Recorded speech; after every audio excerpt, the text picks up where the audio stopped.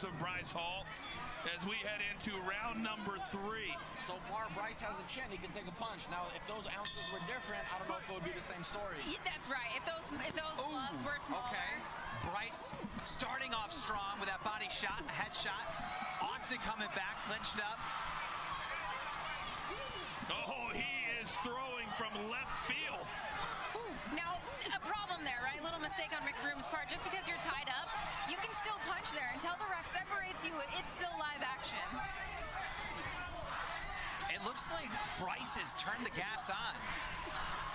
I, I, you know, it's that fight or flight response, right? He realizes he's in trouble and he needs to turn it up if he wants any chance to Yeah, win this he's, fight. he's reacting to what's being thrown at him right now. He's not trying to control the narrative at all at this point. McBroom, if, if he would put punches together and not keep throwing these wannabe knockout shots, he would finish it. He would get the knockout he's looking for, but you got to set it up.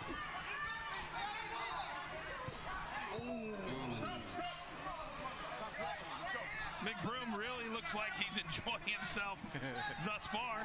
Oh, he's got to be. Once you smell blood, then you just feel feel what it feels like to be a fighter. We are more than halfway through the scheduled five rounds. You know, earlier we talked about how nobody wanted to fight Taylor Holder. Well, it is the exact opposite